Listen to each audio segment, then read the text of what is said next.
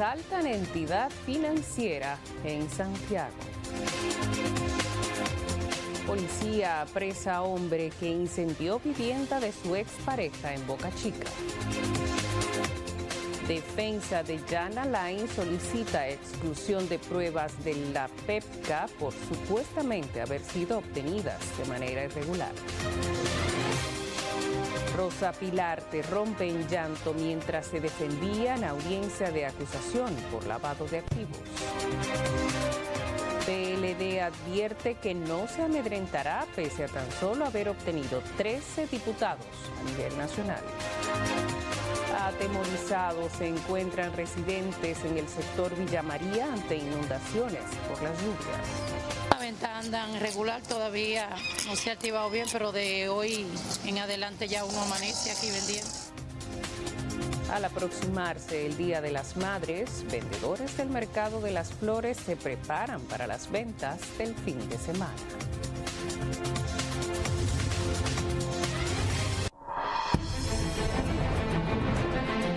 Cada día le llevamos lo más completo de lo que ocurre en República Dominicana y el mundo.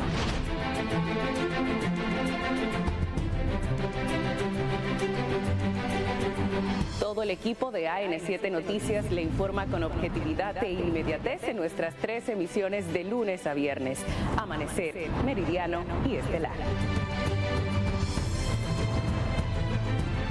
Nuestro compromiso es con usted, porque somos el noticiero de los dominicanos.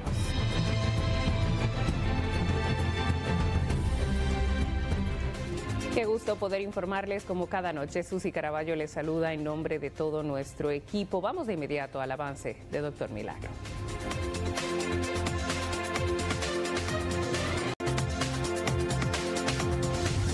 Cuatro sujetos armados y con los rostros cubiertos asaltaron una sucursal bancaria en la Barranquita de Santiago. No hubo derramamiento de sangre.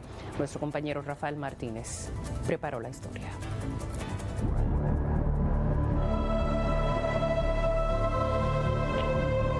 Los hombres armados penetraron a la sucursal bancaria ubicada en el sector La Barranquita de Santiago, logrando tomar una cantidad mínima de dinero, según un comunicado difundido por el Banco de Reservas. Este hombre narra cuando los sujetos llegaron en un carro Sonata, lo encañonaron y rápidamente penetraron a la sucursal bancaria. Atravesaron un carro Sonata de y se apiaron rápidamente y me apuntaron. Yo tuve que apiarme del vehículo. porque Es la forma que ellos apiaron para matarme adentro del carro. Ellos tenían que ser algunos seis, porque se apiaron cuatro y se montaron la aquí, y el otro carro se lo llevaron.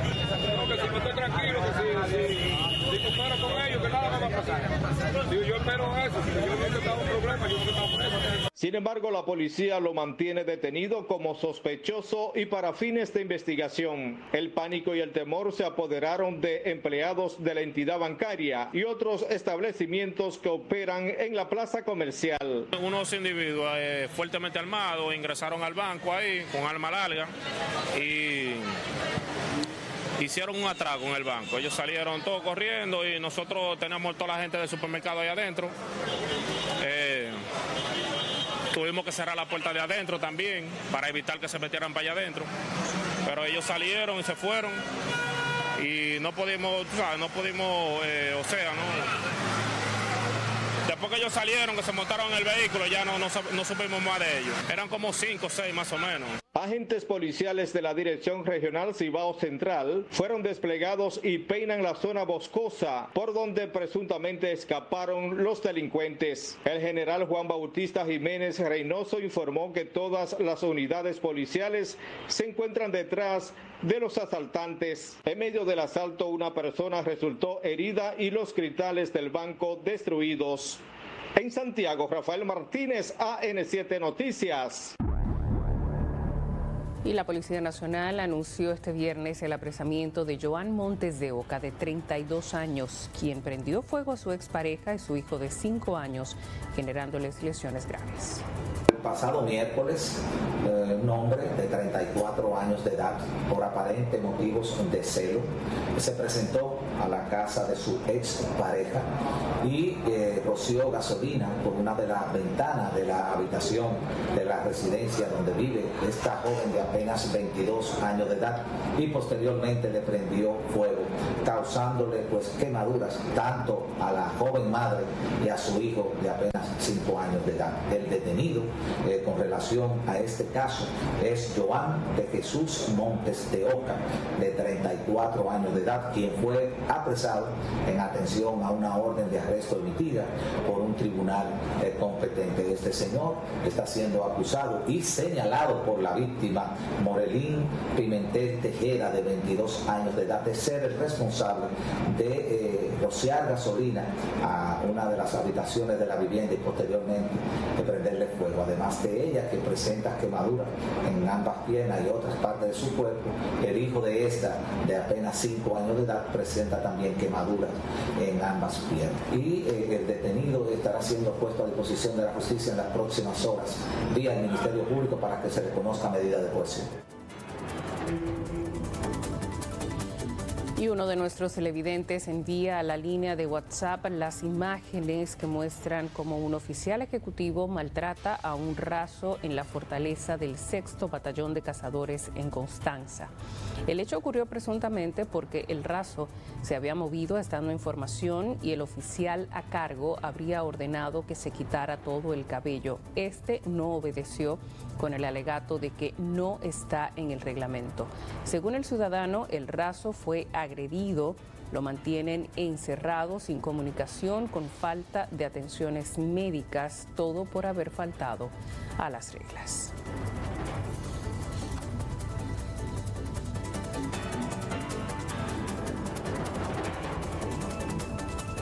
25 extranjeros irregulares fueron detenidos en un hotel de Villa Francisca, en el Distrito Nacional, mientras se desmontaban de un vehículo en el que fueron trasladados desde su país hasta la República Dominicana. Además, está bajo custodia el chofer de este vehículo y un empleado del hospedaje. Los agentes de interdicción de la Dirección Nacional de Migración capturaron a los extranjeros de nacionalidad haitiana y un dominicano mientras realizaban un operativo en la calle Francisco Enríquez y Carvajal, casi esquina José Martí, cuando varios de ellos salían de un Honda Accord al Hotel Riaf donde habían más de sus compatriotas. El dominicano detenido responde al nombre de Cristian José de los Santos, de 23 años, quien conducía el carro y empleado del hotel es Richard Nicolás, un haitiano que tiene un permiso temporal de trabajo. Los extranjeros están detenidos en el centro de acogida en Jaina, donde son procesados para su posterior deportación. Los criollos serán sometidos a la acción de la justicia. El expediente ya fue enviado por la Dirección Jurídica de Migración a la Fiscalía del Distrito Nacional. La defensa técnica del principal imputado en el caso de corrupción desmantelada a través de Operación Medusa, Yanalay Rodríguez, exigió al Ministerio Público eliminar unas 64 pruebas en contra de su defendido, ya que entiende son amañadas. Carlos Balcácer explicó que estas pruebas no son legales y afectan el proceso. Hay un grueso de pruebas que de una otra forma no vinculan a Jan Alain. Y es lo que estamos discutiendo ahora. Por ejemplo, tiene que haber una formulación precisa de carne, no formulación de carne, precisa, como el oculista, cuando el oftalmólogo cuando va a operar un ojo. Tiene que ser preciso para no tocar el nervio óptico y no dejar en ceguera al paciente. O sea, tiene que ser con precisión. ¿Dónde Jean Alain dio tal instrucción y a quién y cuándo y dónde? No hay forma. Jean Alain, dirigiendo la estructura criminal, instruyó para que se cometiera falsedad. una falsedad entre Juan y Pedro, de un carro que ni Jean Alain en vida lo vio. Entonces, ¿dónde está la participación de Jean Alain?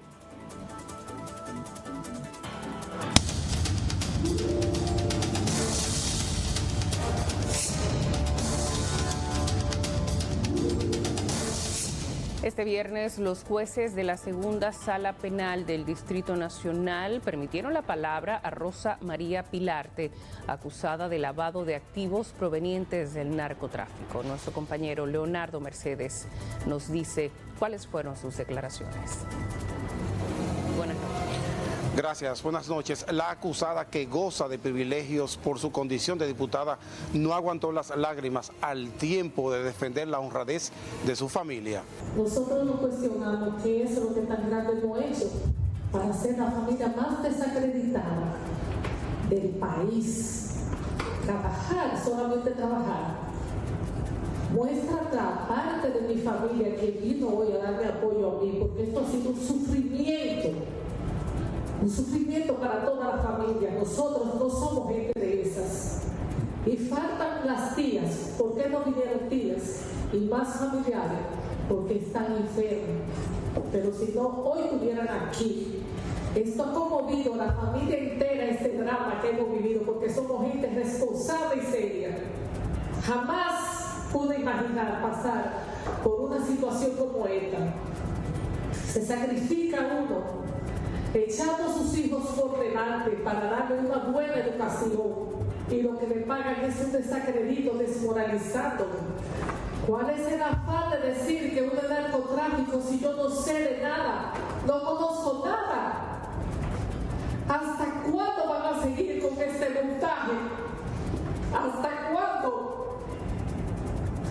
Si nosotros que hemos dado el todo por el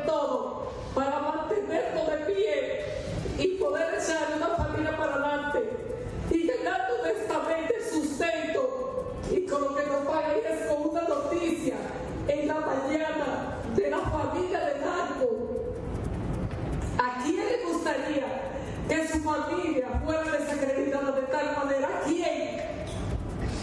Yo le apostaría que a nadie de ustedes, de los que están trabajando aquí, tener un desacredito así a nivel de la prensa por una maldad, porque a esto no se le puede llamar otra cosa que maldad. Calificó como una maldad la acusación en su contra. Acusó al Ministerio Público de filtrar información a los medios de comunicación que luego la asedian, según apunta. Una semana antes de las votaciones, interrumpieron mi hogar entrando cientos y miles de militares, muchos fiscales, y no dejaba de estar la prensa nacional, donde reportaron muchos sucesos falsos que habían ocurrido en mi casa, desacreditándonos a nivel nacional. No obstante a eso, se llevaron a mi esposo preso y a mis dos hijos. Con un paradero desconocido, duramos varios días donde la fortaleza de nosotros era la oración, porque no sabíamos de él dónde lo tenían. Incluso uno de mis hijos tenía COVID esa era mi mayor preocupación. Y el tratamiento que le dieron fue una celda de máxima seguridad. El juicio fue aplazado y continuará este lunes a las 10 de la mañana para que la barra de la defensa concluya con sus argumentos. Nuestro trabajo. Nosotros no teníamos día de fiesta, fines de semana, ni teníamos domingo ni nada festivo, solo era trabajo, trabajo y trabajo. Tanto trabajo que logramos compartir nuestras finanzas. Todos lo hacíamos unidos. Sacamos una cuenta como emprendimiento a la que llamamos Agromiki, donde se movieron cientos de millones de pesos Dicha cuenta, el Ministerio Público hizo un informe en el cual depositó que más del 90% de ellas estaban emitidos los cheques a los proveedores de nuestra empresa. A lo largo del tiempo, mi esposo decidió moverse a otra actividad financiera de hipotecas y préstamos. El Ministerio Público solicita para Rosa Pilarte 10 años de prisión al ser cumplido en la cárcel de Rafael Mujeres y al pago de 400 salarios mínimos y que le sean decomisados sus bienes. Con esta información, retorno contigo al set de noticias. Gracias, Leo. Buenas noches. En otra información, la juez suplente Merilane Collado, presidenta del Tribunal Superior Administrativo, aplazó nuevamente la audiencia donde la Asociación de Importadores de Vehículos Usados. Busca que sea renovado el decreto 420-23 en la que asegura que el gobierno busca con el mismo crear un monopolio. Además, estuvieron presentes la Dirección General de Impuestos Internos, Presidencia de la República como la cúpula empresarial. La DGI está haciendo un uso abusivo de las vías de derecho al involucrar a dos intervinientes forzosos nuevamente con fines de que no se conozca el fondo de la medida cautelar, en este caso demandó nuevamente en intervención forzosa a la IRD y el CONE. Este último ni siquiera compareció.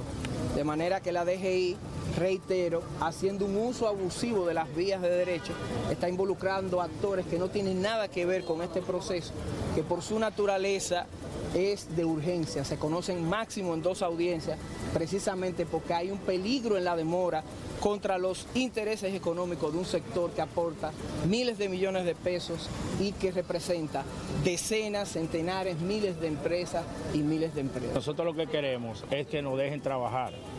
No estamos pidiendo eh, nada. Tenemos ahora mismo 200 mil empleos que están en peligro. Entonces ya esto es una lucha del sector de los vehículos nuevos contra los usados. Nosotros no tenemos ningún tipo de problema con ellos. Pero no obstante, hoy se invitaron unos actores nuevos que no tienen nada que ver aquí, porque el CONEP y el ARD no tienen que ver nada con el sector de los vehículos, o sea, ellos no venden carros.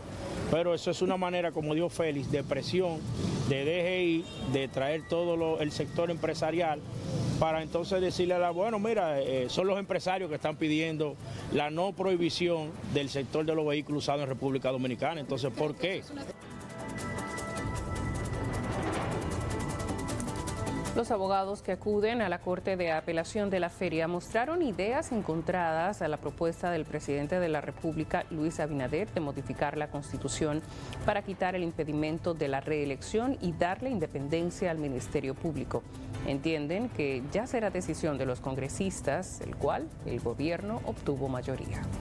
Debe de ser modificada para una reelección. Además, el presidente lo dijo, que no interesa otro periodo más. Para que se modifique ciertos artículos, sí, pero en verdad no ese de la reelección. La República que, que va a ordenar hacer esa modificación y a los legisladores, que son los que se van a encargar de eso. Típicamente yo entiendo que el señor presidente es una persona sabia y inteligente. Y lo mejor que él tiene que una persona sencilla y humilde. Por eso tuviste los resultados que tuvo. Te hablo como ciudadano de la República Dominicana y entiendo que el pueblo dominicano tiene que creer en él, en sus decisiones, porque es una persona que piensa con la mente pensando en lo demás. Justifica porque la constitución de 2010 no es que mala, pero quedó una serie de elementos de derecho fundamental que hay que darle cabida. Yo estoy de acuerdo.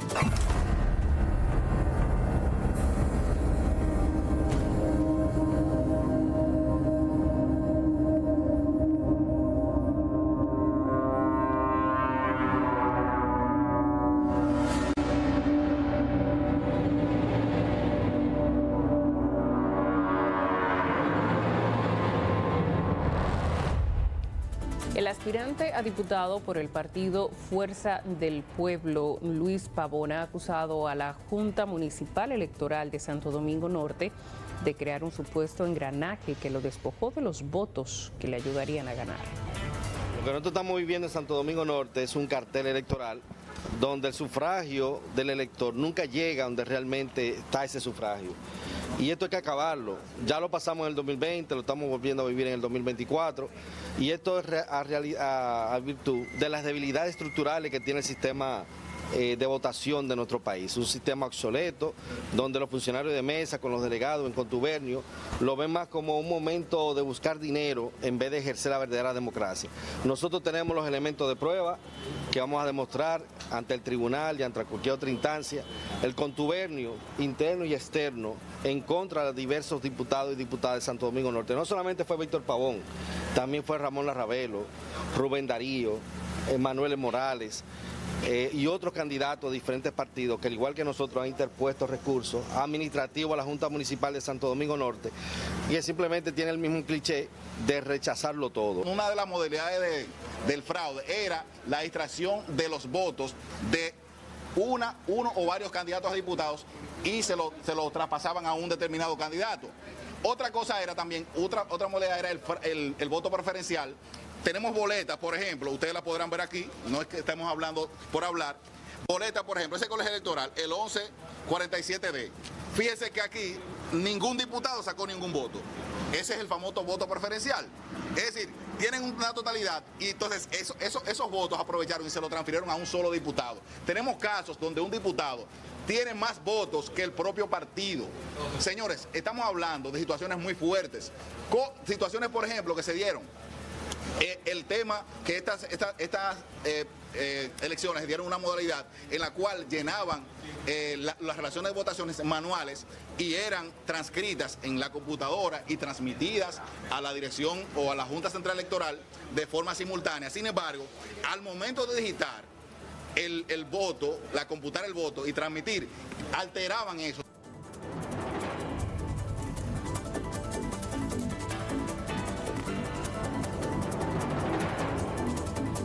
Y con solo 13 diputados contará la bancada en la Cámara Baja del Partido de la Liberación Dominicana. Con esto no sería motivo de dejarse amedrentar, según las declaraciones de Gustavo Sánchez. Sin embargo, el Partido Revolucionario Moderno asegura que buscará consenso, aunque cuente con mayoría absoluta.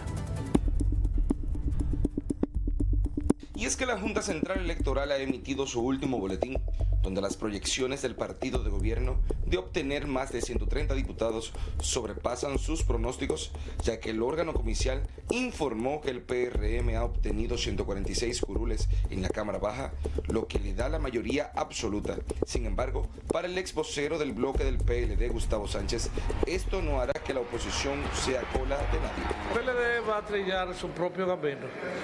Si tenemos que coincidir con los partidos de oposición, lo haremos. Si tenemos que coincidir con el partido oficialista en temas nacionales, lo haremos. Nosotros tenemos nuestra propia identidad y no somos cola de nadie, absolutamente de nadie. Sin embargo, congresistas oficialistas aseguran que buscarán los consensos del lugar para lograr las reformas que están previstas a llegar al Congreso Nacional, pero lamentan que el Partido de la Liberación Dominicana no cuente con los diputados suficientes para la conformación de las 51 comisiones que operan en la Cámara Baja. Aunque haya un diputado que nos quiera hacer cola, nosotros le abrimos las puertas para que se integre al bloque mayoritario si el problema de él no está en minoría.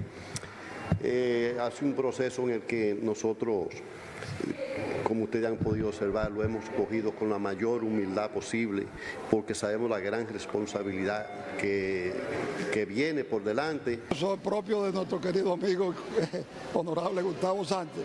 Ayer lo hizo por igual en, en la Comisión de, de, Aviación Civil y luego cayó en, en la realidad.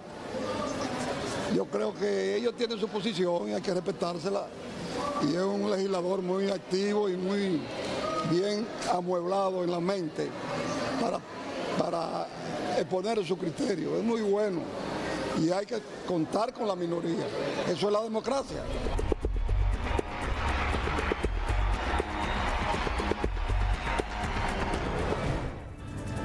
Ante los pronósticos de las autoridades de que continuarán las lluvias cayendo sobre nuestro país, residentes en el sector Villa María del Distrito Nacional aseguran que están bastante preocupados por la situación en la que está ese sector.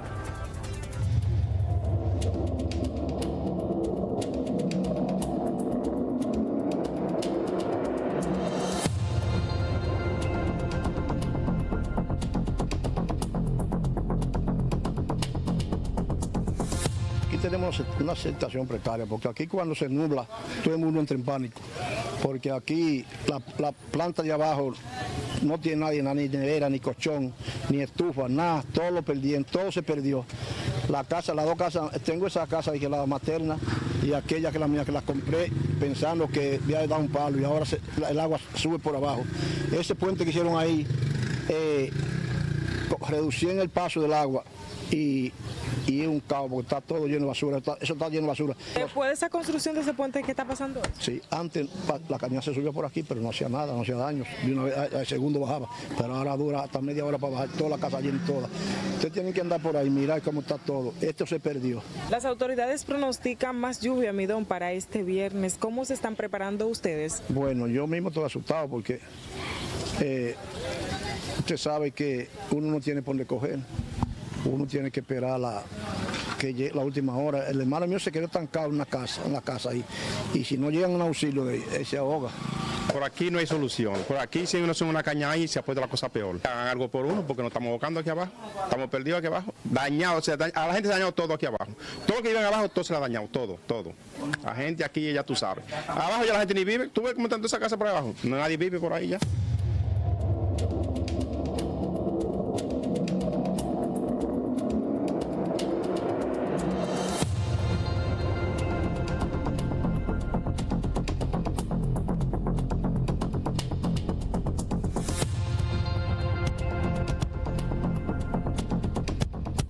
Mira, mi hogar, mira cómo que está, mira. Se me desbarató todo, porque a mí se me fue todo, todo aquí. Aquí yo estoy nomás con la, esperanza de Dios. No tengo, no tengo más nada, la esperanza de Dios nomás. Y cada que baje el agua, ya tú sabes, mira ese callejón para que tú veas cómo que está eso. Date cuenta que cuando llueve, el aguacero y la caña y los callejones, ya usted sabe que se inundan, que hasta que no baje la del medio, los callejones no bajan. ¿Qué usted creería de eso? ¿Me entiendes? Está mal, ¿me?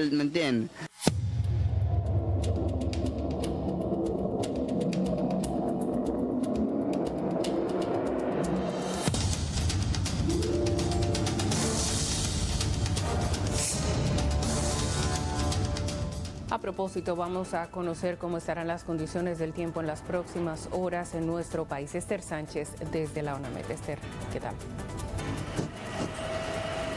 Gracias, buenas noches. Bueno, comienzan a disminuir las precipitaciones. En ese sentido, esta Oficina Nacional de Meteorología de 23 bajó a 17 los niveles de alerta. Buenas noches, Tamari. Sí, muy buenas noches. Como tú acabas de decir, las precipitaciones continuarán disminuyendo en intensidad y frecuencia durante la noche.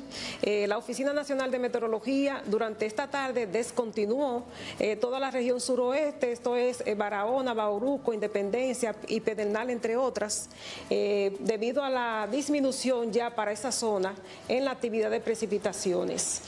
Sin embargo, mantiene 17 provincias bajo alerta meteorológica, principalmente el Gran Santo Domingo, San Pedro de Macorís, Santiago y La Vega, entre otras provincias. para el día de mañana vamos a continuar con algunos aguaceros de moderada fuerte intensidad, especialmente hacia lo que son las regiones noroeste, norte, noreste, también hacia parte de la cordillera central y algunos sectores de la zona fronteriza. Eh, y en cuanto a las temperaturas, se van a, van a continuar calurosas debido al viento eh, predominante del este-sureste eh, y mejorando ya en la noche y madrugada. ¿También van a mejorar las condiciones para el Gran Santo Domingo y el Distrito Nacional?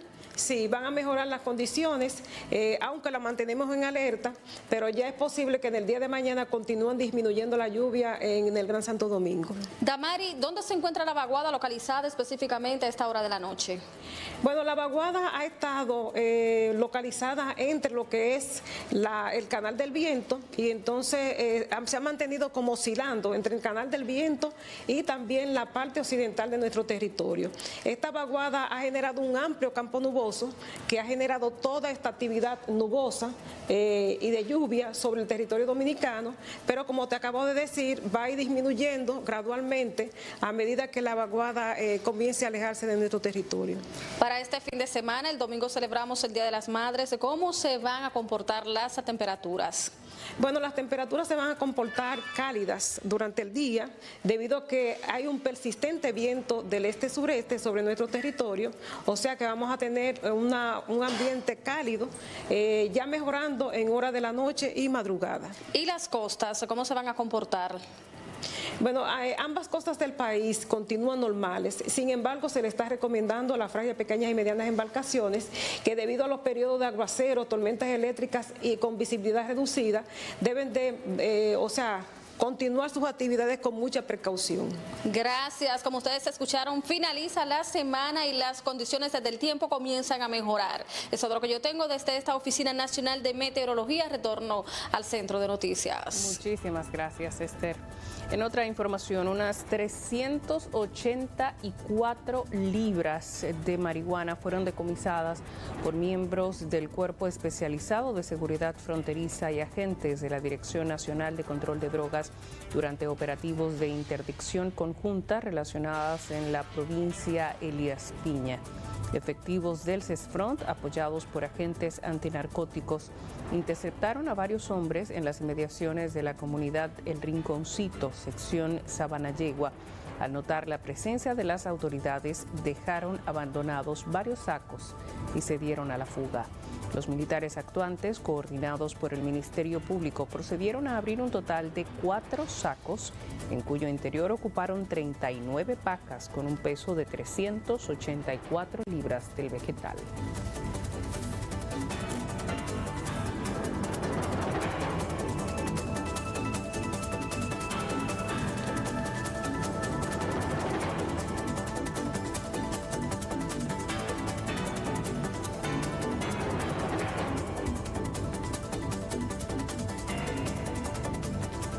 Residentes y transeúntes de la avenida Eduardo Brito en Los Mameyes están pidiendo la urgente intervención de las autoridades en esa vía. Eso que pasa es que el ayuntamiento no hace caso. Eso no, eh, me cansado de decirle que va a hacer hoy para que no se vaya, no hace nada. Entonces, ¿qué se puede hacer con eso? No, es fácil. Y cuando llueve, eso dura hasta una semana. Mira, nosotros somos motoconchos, tenemos que dar la vuelta. A donde hay personas que la llevamos, la, Oye, ellos pagan para nosotros pasar ese charco. No es posible.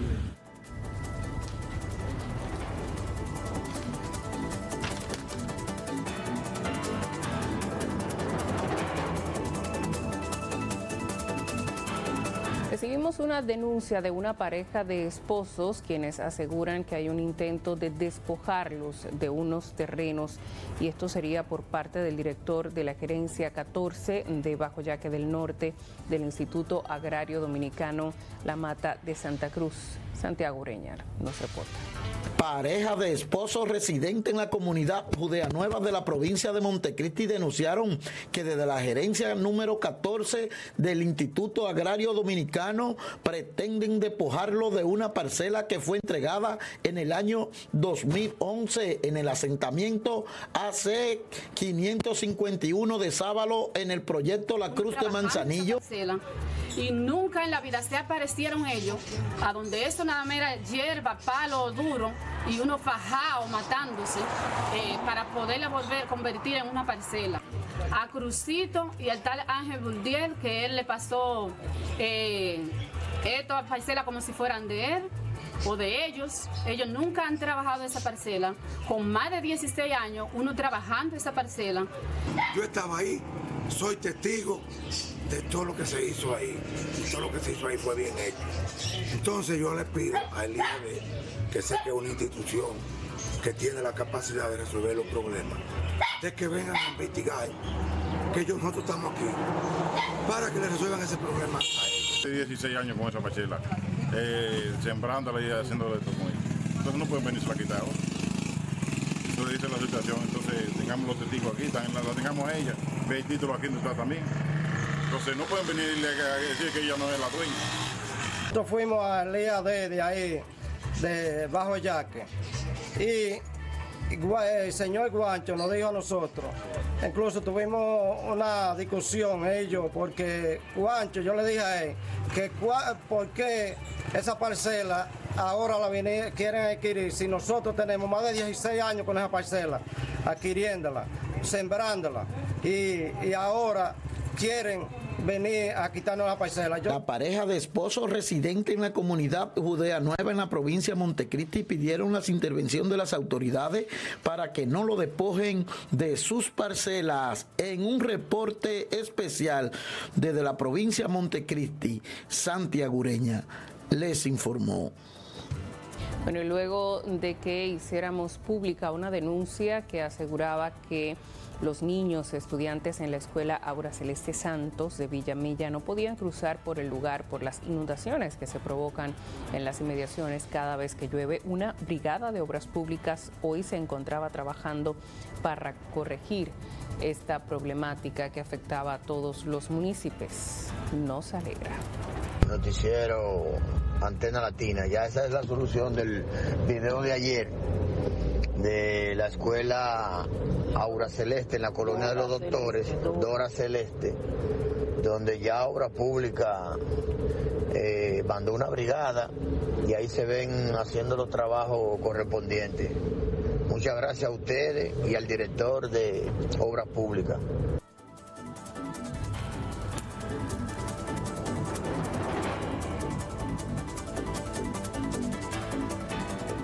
Hacemos una pausa y enseguida más informaciones de este interés.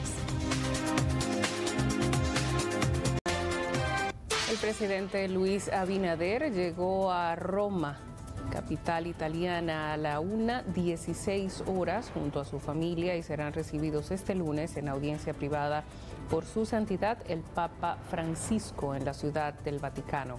El jefe de Estado dominicano, al llegar a Roma, fue recibido por los embajadores dominicanos en la Santa Sede, doctor Luis Emilio Montalvo, y en Roma, Tony Raful.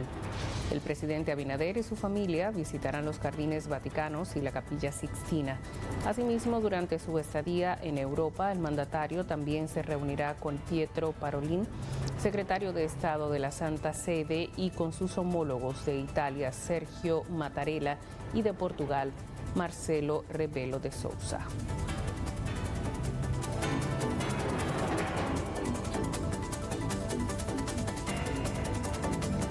A propósito de que este domingo es el Día de las Madres en nuestro país, ya los vendedores de flores eh, se esperan bastante visitas para este fin de semana.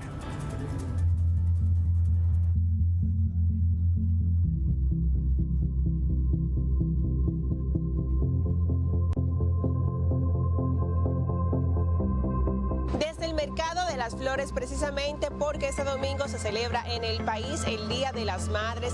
Los vendedores se preparan con hermosos arreglos para los consumidores que se dan cita a este mercado en busca de hermosos arreglos florales en conmemoración al Día de las Madres Dominicanas. No, la venta andan regular todavía, no se ha activado bien, pero de hoy en adelante ya uno amanece aquí vendiendo.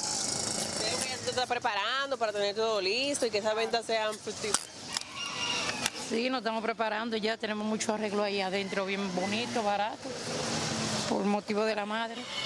¿Y los precios cómo andan de esos arreglos? Los precios dependen. La caratica eso están a mil, están a 600, 700 dependiendo y los, y los globos de transparentes, los grandes, esos están a 2.500, a 3.000, dependiendo la cantidad de rosas que se le pone.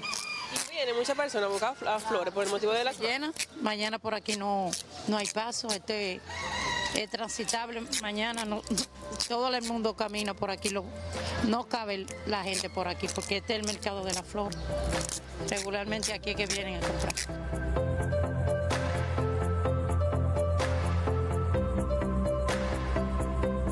Bueno, por ahora nos estamos preparando para el Día de las Madres, que realmente faltan dos días estamos haciendo los preparativos y nada, vamos a ver qué pasa, por lo menos ahora la cosa va marchando bien hasta ahora.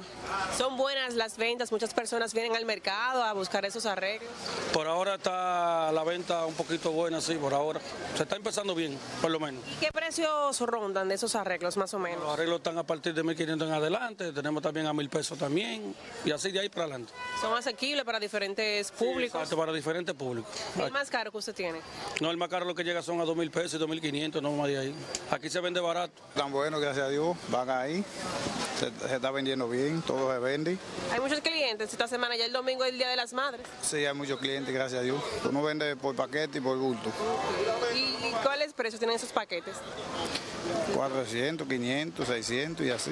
¿Le compran mucho para esos días? Sí, se vende mucho. El precio va variando.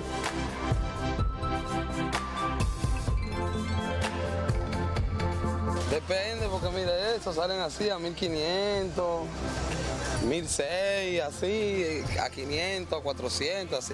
Aquí de, de varía el precio. Y, y vienen muchas personas este fin de semana, Día de las Madres. ¿Cómo te, qué esperas? Bueno, esperamos que vengan muchas personas. Cuando se vende, se vende a 800 el bulto, a- sale a, a- a 80 el paquete. Y así, eh, pa- depende a, a la clase de flores que sea.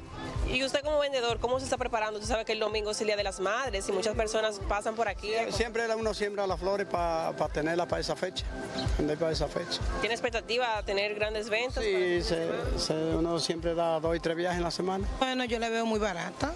Tan barata, esto a 30, esto a 70, tan baratísima. Y alrededor de de las Madres, se está comprando para hacer algún arreglo. Bueno, mi mamá, no, mi mamá está muerta. Yo voy para el cementerio, por eso la estoy comprando. Está muy bien, para la madre siempre las cosas son buenas. Así Hay muchas flores bonitas aquí. ya Sí, ya, ya compramos, ya vamos a esperar un taxi para que nos lleve. ¿Y cómo vio los precios? Sí, los precios estaban muy buenos. Muchas flores, tres cajas de flores tenemos. ¿Para qué tantas flores? ¿Qué piensa hacer en ese feriado de las madres? También vendemos, sí, buscando los ¿Y cómo ve los precios? Tan buenos, tan buenos.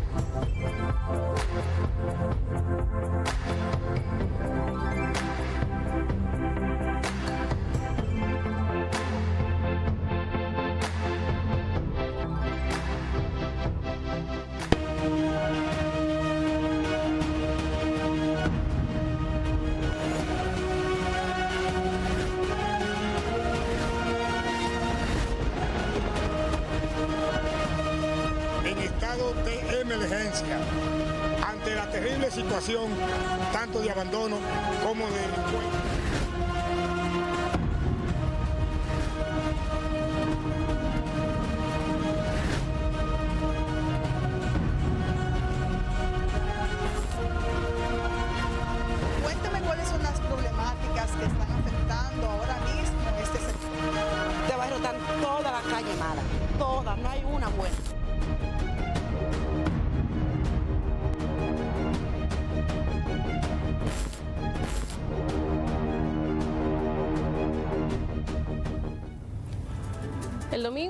De las Madres y hay cosas que cambian. También el concepto de esta celebración. Salimos a las calles a preguntar a la gente qué significa este día.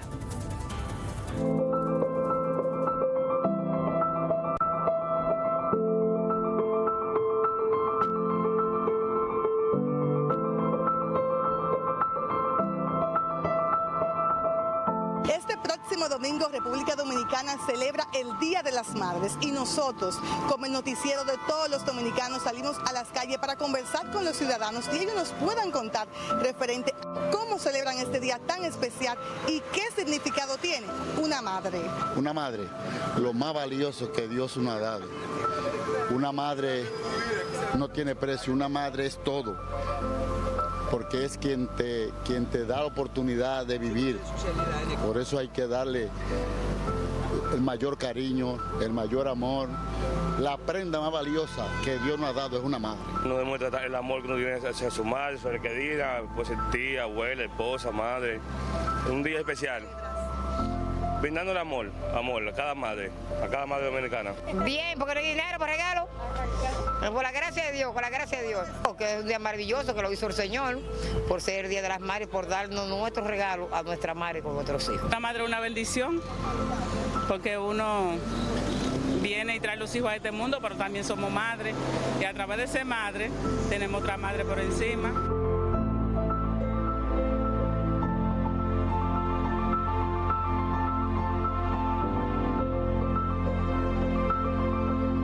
Digo que lo que más se asemeja a Dios, lo que más se asemeja a Dios es la madre. Y, toda mujer es madre, aún no haya concebido.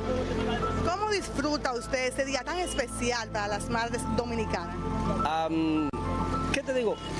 Yo diría que el Día de las Madres es todos los días, realmente. Las madres no tienen un solo día. Bueno, para mí el Día de la Madre debiera ser los 365 días del año, porque es un ser muy especial, que nos brinda amor desde que nos tiene en el vientre y eso es, para ella siempre somos unos niños. ¿Cómo celebra usted este día con su madre o con su esposa? Nos juntamos todos en familia en la casa, todos los hermanos, y hacemos como lo llamamos en los barrios, una chelcha, porque hay que agradar a la doña. Aparte de esa chelcha, ¿qué comida hacen ustedes ese día? ¿Qué plato fuerte? Que a ella le guste, ella decide. El gusto completamente. ¿verdad? Sí, sí. El Día de las Madres es un día sublime, un día muy especial, porque es el ser que más debe, de quererse en la tierra, porque madre solo hay una, como dicen. Así es, ¿cómo celebra este día tan especial? Bueno, por lo general en mi casa se hace una comida, eh, se le compra algún regalito a la mamá y normal, pasa el día tranquilo.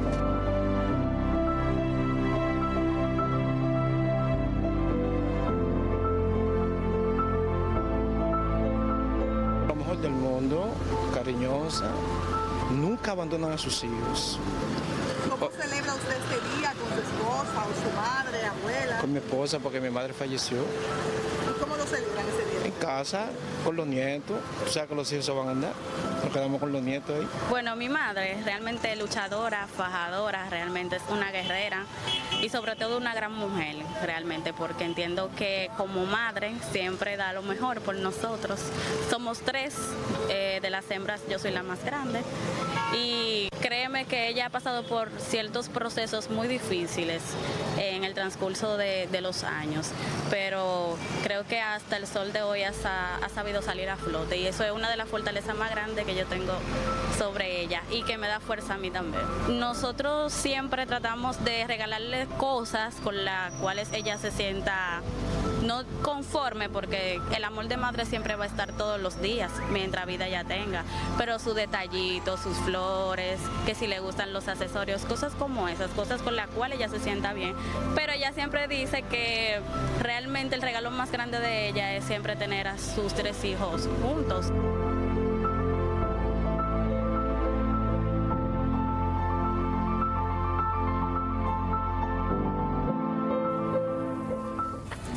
Nuestra compañera Desiree Santos nos habla un poco acerca de la historia de esta celebración del Día de las Madres y también conversó con algunas de las madres de AN7.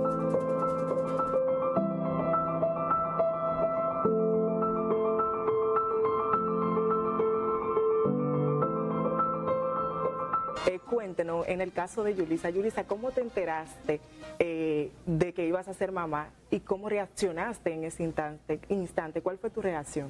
Bueno, eh, mi experiencia inició de una manera muy extraña, se podría decir, porque mi primer embarazo yo lo perdí.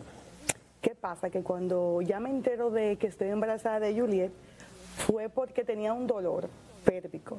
Yo fui al ginecólogo, él me dijo como que tenía retención de líquido, y yo me quedé como retención de líquido, qué extraño.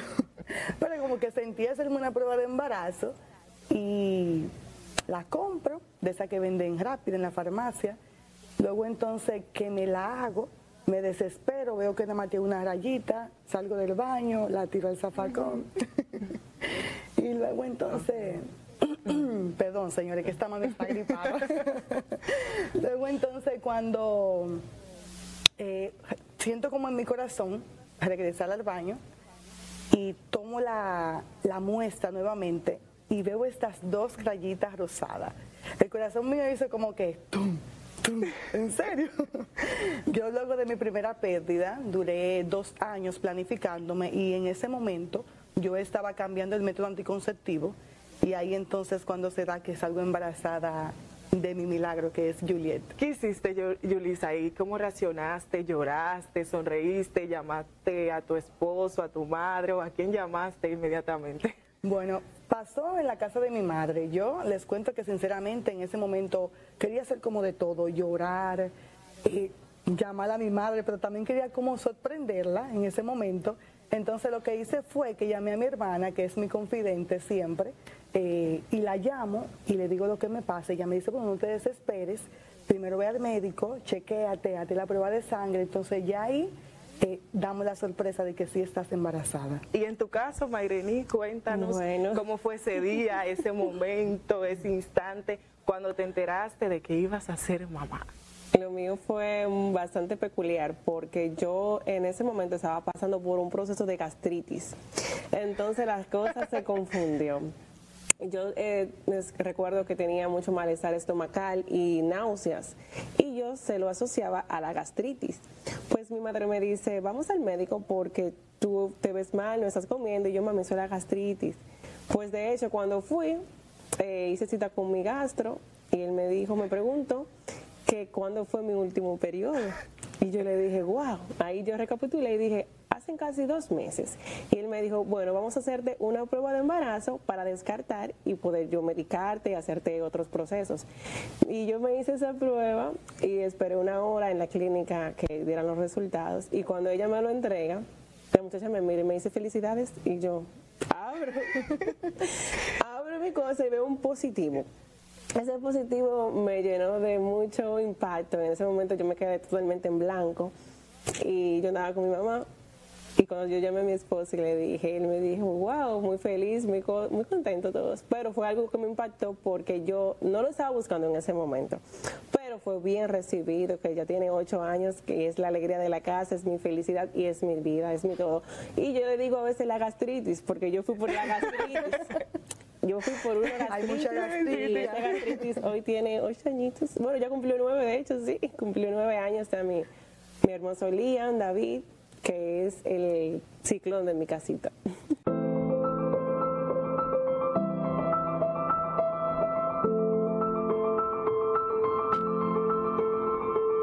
Gracias. Con la comida que vamos a comer. Con la comida que vamos a comer. Gracias por la Navidad. Gracias por la Navidad. dale comida. Dale comida. A las que no tienen. Dásela. Y a los que son pobres, dale monedas. Decirle, cuéntanos de ese día, ese hermoso día cuando te enteraste que iba a ser mamá. ¿Cuál fue tu reacción?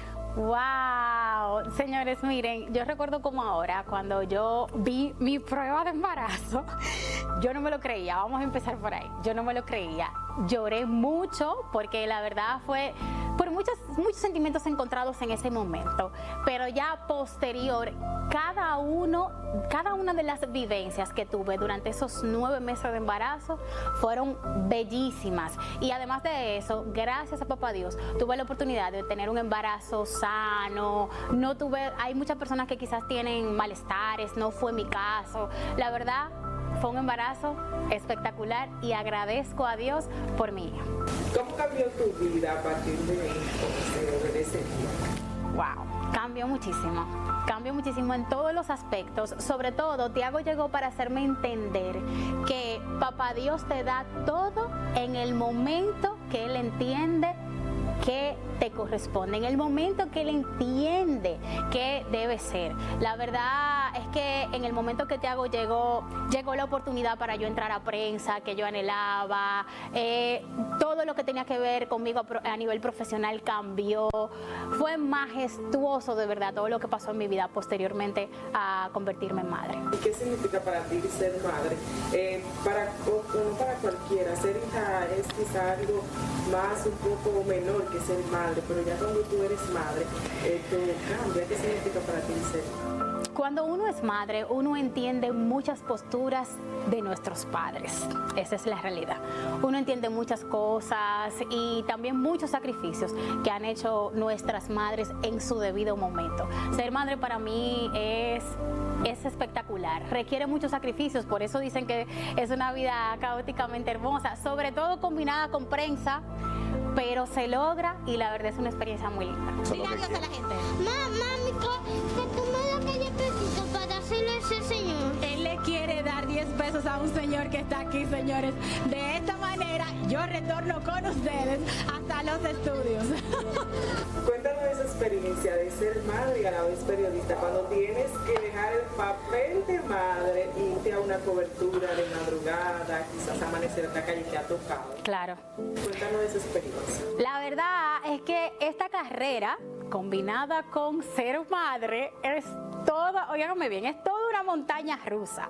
Porque en esta carrera, en este trabajo, en esta labor que realizamos, no hay horarios. Así como un día podemos salir en nuestro horario habitual, hay momentos en que ocurre una cobertura fuera de la ciudad. Por ejemplo, cuando me fui a Haití para hacer una cobertura de, de dos días. Entonces, todo cambia en fracciones de segundos. Tienes que armar nuevamente una agenda y eso hace que pues se convierta precisamente en eso, en una montaña rusa de emociones.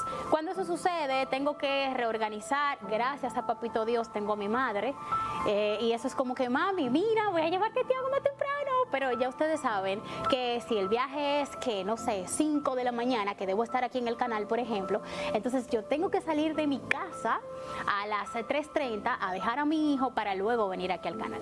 La verdad, es un sacrificio. Esos días eh, o los días con Tiago, ¿cómo son?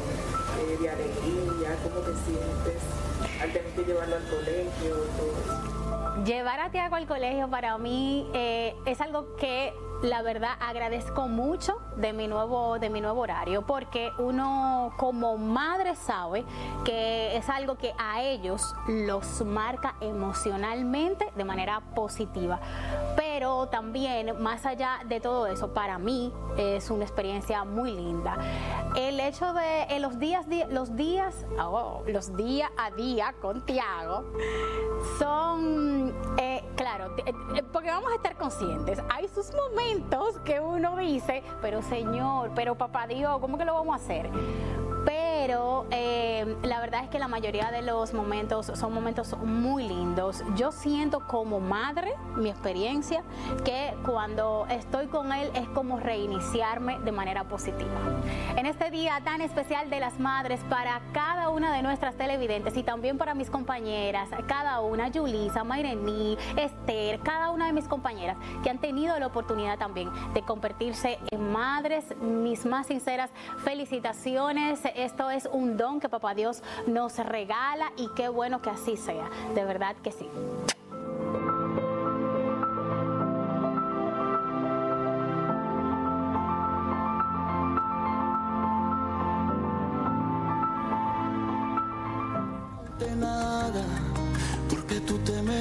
Extender una felicitación a las madres de AN7 y a la mía, las mías en particular, que he tenido la suerte de tener más de una. Gracias a mi madre, Clara Caraballo, y también gracias a Mónica Hernández por dedicarse tantos años de su vida. Y a esas otras mujeres que han servido de madre, que han dado paños, que han dado hombros para servir de apoyo también. Muchísimas felicidades, porque madre no solo quien trae al mundo, sino quien da soporte. Felicidades a todas en su día. felices casi.